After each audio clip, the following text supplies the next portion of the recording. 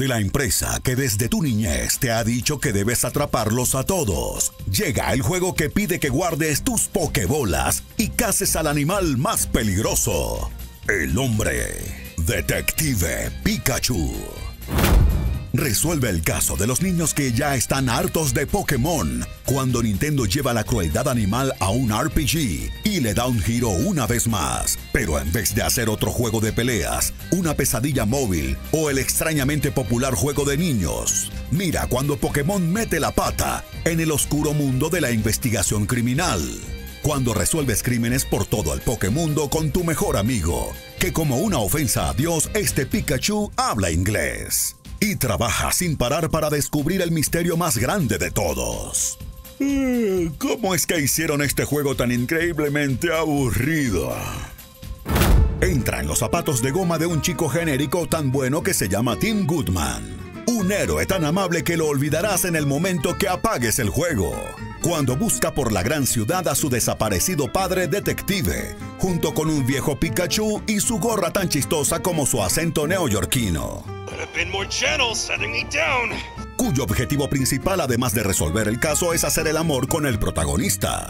Después investiga la pista que ha dejado tu padre, para así desarrollar la conspiración que amenaza el mundo entero de Pokémon, en la única representación de cómo sería vivir con Pokémon sin apalearlos, siempre y cuando no te encuentres con cada pendejo en la calle desafiándote a luchar porque lo miraste feo.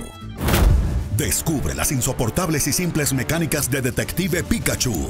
Cuando Nintendo toma el marco básico de los juegos de Phoenix Wright y le arrancará las secuencias del tribunal por mecánicas peculiares y los personajes chistosos y cualquier señal de carisma, dejándote solo con la parte en donde solo corres buscando pistas hablar con la misma persona cinco veces y aguantar horas de diálogo con Pikachu hasta que el juego decide que finalmente puedes resolver el puzzle, el cual sabías la respuesta hace 10 minutos.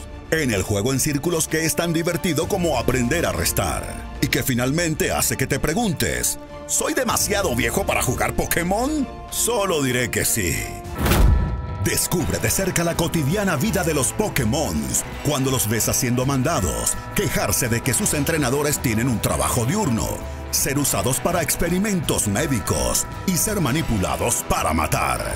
En un mundo tan interesante como mis nalgas que con el tiempo apreciarás lo interesante que es, lo cual hace que sigas jugando solo para ver cómo es que lavan su ropa los Pokémon.